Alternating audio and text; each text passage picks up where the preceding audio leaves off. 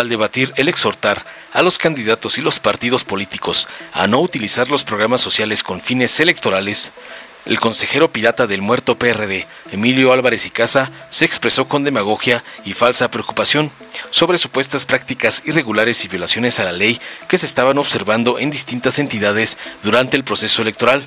Destacó ejemplos específicos de presunta manipulación y coacción por parte de ciertos actores políticos, incluyendo el disque uso indebido de programas sociales y la amenaza a los monitoristas electorales. El falsario resaltó con hipocresía la importancia de respaldar y proteger a quienes realizan labores de monitoreo y auditoría en las campañas electorales, haciendo referencia al trágico asesinato de uno de los monitoristas, Salvador Ramírez, en el Estado de México. Asimismo, señaló supuestos casos de intimidación hacia los monitoristas por parte de representantes de ciertos partidos políticos, es decir, Morena, lo que supuestamente ponía en riesgo su seguridad y la integridad del proceso electoral. Después la consejera presidenta del INE, Guadalupe Tadei, expresó su solidaridad y aseguró que estaban atentos al caso del monitorista asesinado, esperando las deliberaciones de las autoridades correspondientes. Pero fue entonces que el falsario, Álvarez y Tranza, la interrumpió groseramente para reiterar sus exigencias. Entonces la consejera presidenta le respondió obediente, como si fuera su jefe, para posteriormente guardar un minuto de silencio en memoria del monitorista asesinado.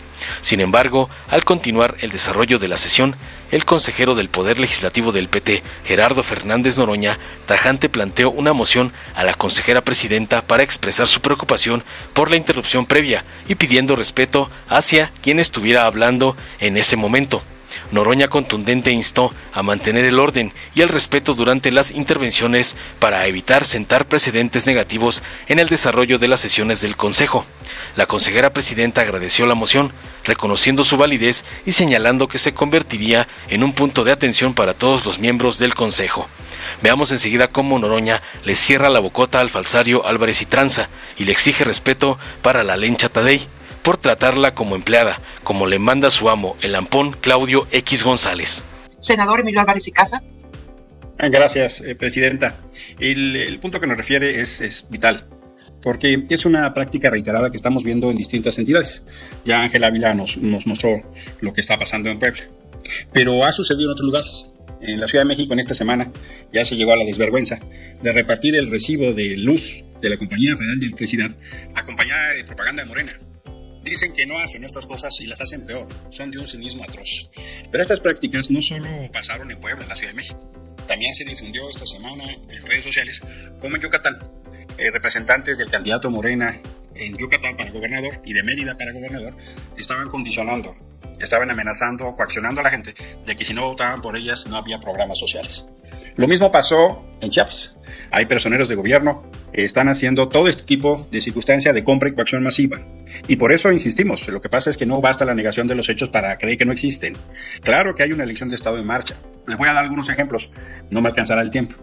Por ejemplo, que la mayoría legislativa de Morena y sus aliados no hayan querido nombrar a ocho magistrados del Tribunal, del Tribunal Electoral y Poder Judicial de la Federación y a 41 magistrados de los órganos estatales, me refiero a los tribunales, pues claro que debilita a la autoridad electoral, es parte de una estrategia para debilitar el proceso electoral.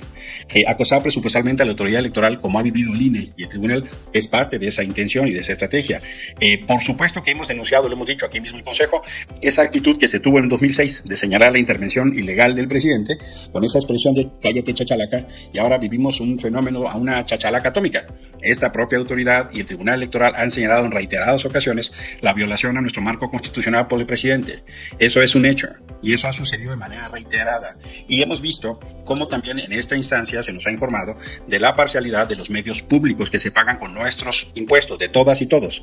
La descomposición y degradación de Canal 11, del IMER y del Servicio Público de Radio y Televisión cuando promueven exageradamente a la candidata oficialista, incluso no solo en tiempo, sino con otras positivas, y atacando a nuestra candidata Xochitl o ignorando otras candidaturas. Todo eso son datos, pero no basta la negación sencilla y cínica como para pensar que no, no sucede. Y por eso es tan importante reiterar estos llamados. Pero también, también, Presidenta, quiero subrayar la importancia de que esta autoridad respalde el trabajo de quienes realizan el trabajo de monitoreo en las campañas, de los auditores y de los monitoristas, porque se están presentando hechos graves y esta autoridad no puede ser omisa.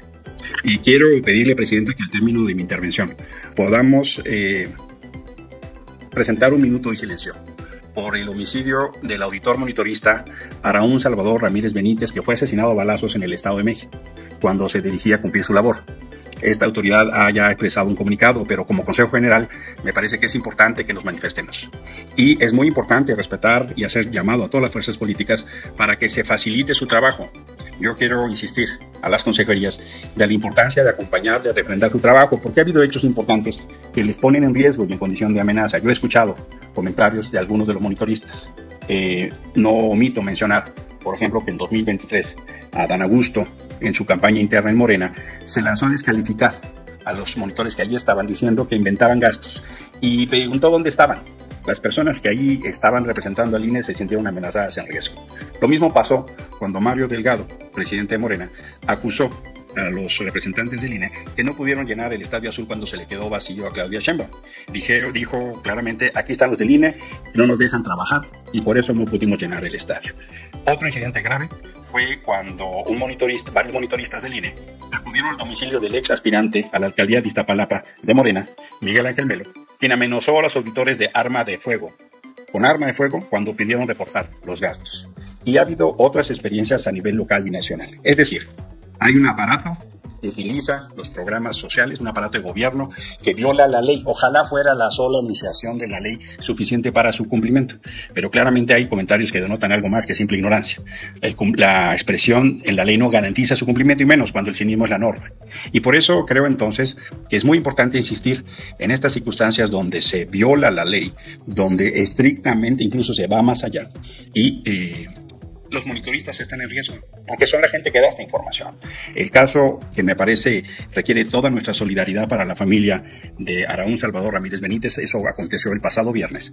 Y para su familia, nuestras condolencias, yo le pido a la presidenta que dé las instrucciones a la secretaria ejecutiva para tener la certeza del seguimiento de las investigaciones y la protección a su familia en términos de lo que significa que una persona que colabora en el instituto pierda la vida. No me parece un tema menor. Y eso va de la mano de si hay de todos los partidos uso indebido de programas, el instituto tiene que hacer su labor, llamar a que no se ataque a los representantes del INE en las actividades de todos los partidos. Eso me parece muy importante, pero hago estos señalamientos con, con datos certeros y precisos de lo que ha venido sucediendo, porque hay una campaña de desprestigio en contra del INE y eso se refleja en el territorio. Hay monitoristas que se han sentido amenazados y me parece que es fundamental reivindicar su trabajo y dar garantía. Y en el mismo tono, eh, dar las mejores condiciones para quienes están realizando las labores de capacitación.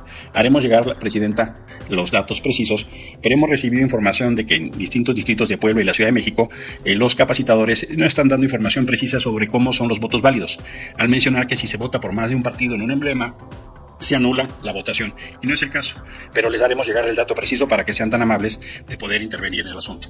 Por su atención, muchísimas gracias. Gracias. Eh senador Álvarez y Casa en primera ronda. Solamente para compartirle, senador, y a todos los que estamos presentes aquí, que efectivamente ese instituto está atento a lo que está sucediendo con el fallecimiento de nuestro colaborador eh, estamos en espera de las eh, eh, deliberaciones que hagan las autoridades correspondientes para poder hacer nuestro propio posicionamiento. Sin embargo, sí existió un pronunciamiento y por supuesto que expresamos también a título personal e institucional nuestras condolencias a la familia. No es un tema que no se le dé seguimiento. entiendo que usted no estaba enterado, pero ya lo estamos enterando en esta sesión. Sí, sí lo estaba y sí lo dije, presidente. Reconocí el pronunciamiento que se hizo.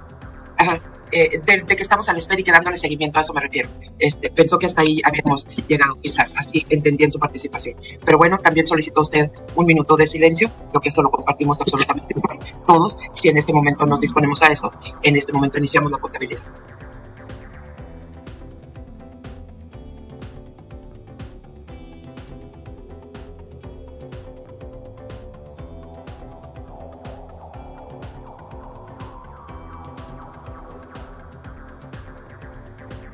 Entonces,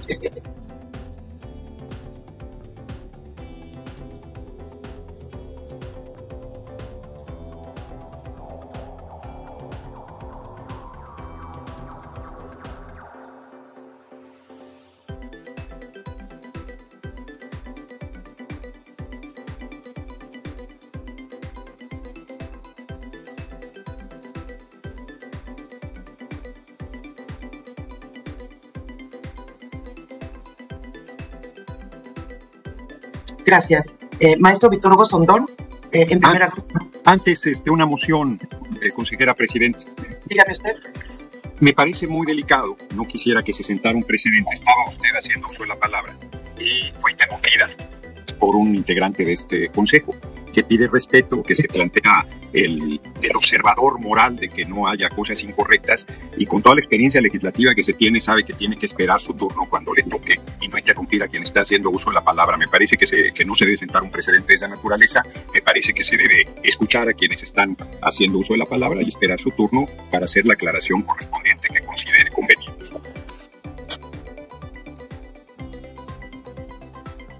Gracias, diputado eh, Fernández Noroña. Moción que hacemos de nuestra entiendo que todas la estamos recibiendo. Eh, Dale en me gusta. Suscríbete, activa la campanita y compártelo para que más gente lo vea.